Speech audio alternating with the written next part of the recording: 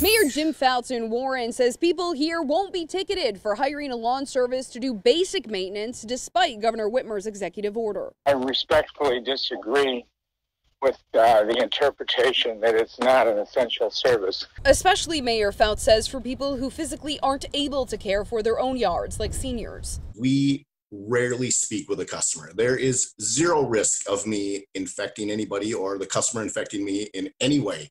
Um, at most, we wave at people from inside their windows. Joe Kelly, who owns a landscaping business in Warren, says unattended lawns could lead to blight and rodent problems in a matter of weeks. We started uh, a week ago and we're out doing cleanups, um, but basic stuff. In the last couple days, we have shut it down. This morning, the governor's office reiterating that unless the service is necessary to maintain and improve the safety, sanitation, and essential operations of a residence, it's not allowed.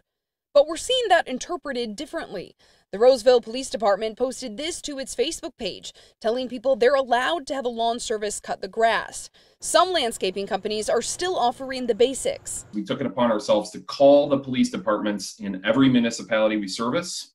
We called two law firms and we also called the Attorney General's office. And our understanding is that they will not be ticketing companies who are mowing lawn. We are suspending all mulch installation, flower planting, brick paver patios, retaining walls. In what's usually a busy time for landscapers, many, like Kelly, are hoping the governor considers loosening this particular restriction. And in the last week, I've probably lost five to eight thousand dollars in sales. The governor is set to speak on extending that state home order this afternoon at 3 o'clock. I'm told she will also provide an update on essential versus non essential business at that time. In Warren, Jenn Schanz, 7 Action News.